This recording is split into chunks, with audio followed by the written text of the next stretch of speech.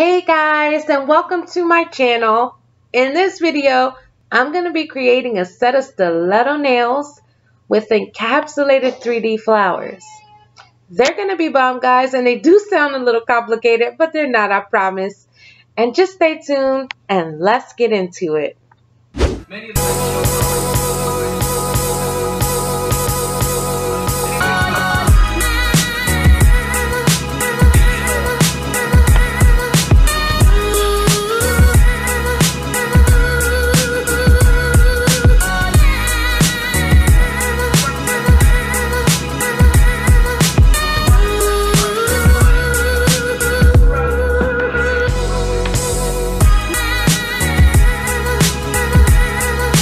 Coming in with my first bead of Cover Nude Blush. I'm going to pat it into place, make sure I get all my sidewalls and everything covered.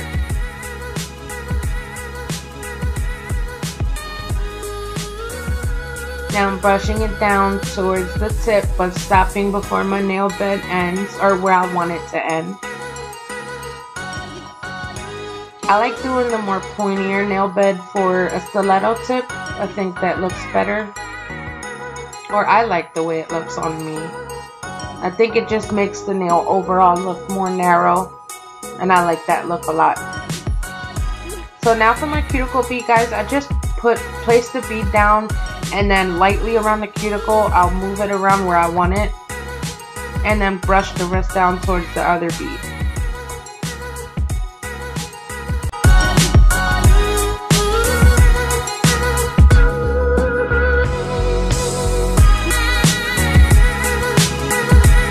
Guys so right here I'm adding a bead of the blue color in the collection bending my hand the other way and then blending it back towards my cuticle.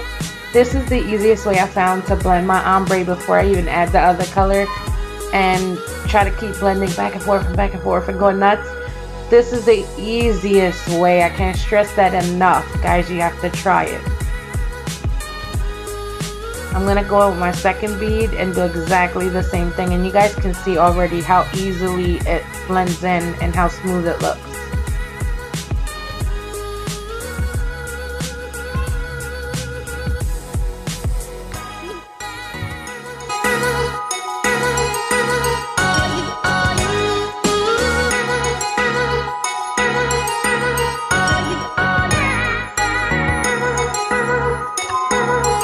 Guys for this finger, I'm doing an elongated nail bed again with the Cover Nude Blush. And I am just pushing in my sidewalls as you guys can see. Now I'm going in with my cuticle bead and brushing downward first. Then I'll go in.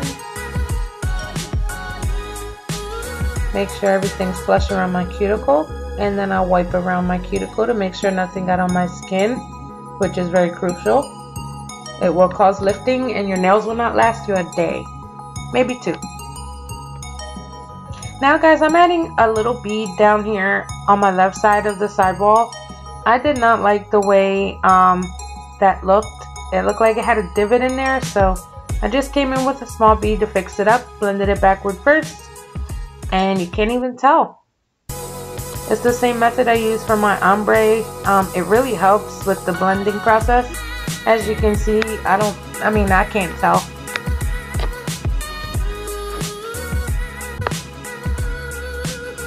Alright guys, so now I'm going in with that plum color.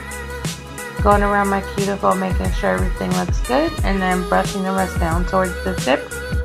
But staying in the middle.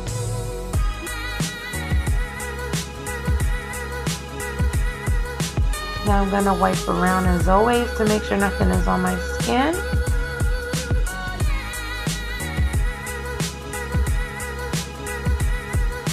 Now I'm adding another bead right in the middle so that I can get the blend a little further down.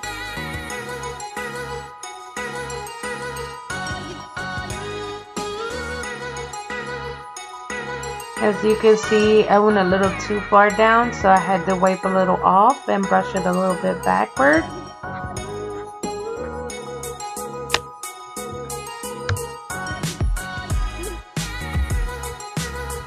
Right, so for this nail, I'm adding the plum color.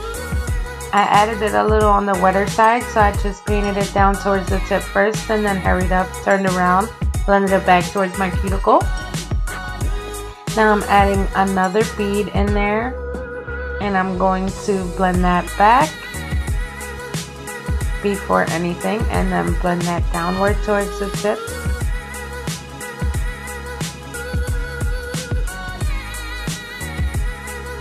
I just wanted to inform you guys of my ring finger not being in the video. You guys didn't want to see it. It was a hot mess and I don't know why. That color in the collection, it's the raspberry color, gives me a problem. I love Mia Secret that, you know, I have everything from Mia Secret and everything is always really good. Um, I just don't know what's going on with that one color, raspberry. It just doesn't work out. Every time I use it, it's really sticky. If you guys have that same problem, comment down below. If you guys have a good raspberry color, let me know. I mean, I don't know what's wrong with mine. Um, so yeah, I'm just blending back and forth between the pink and the purple until I get the blend exactly the way I want it.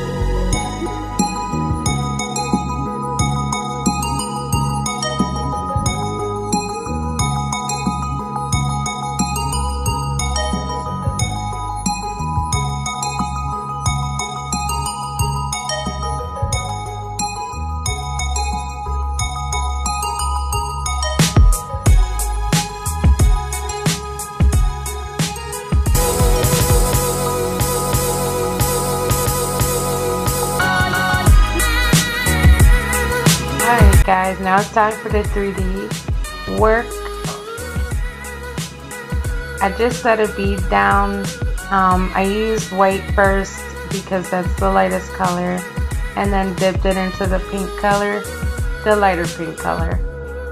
Um, and then I just let it sit for six seconds, five seconds, something like that.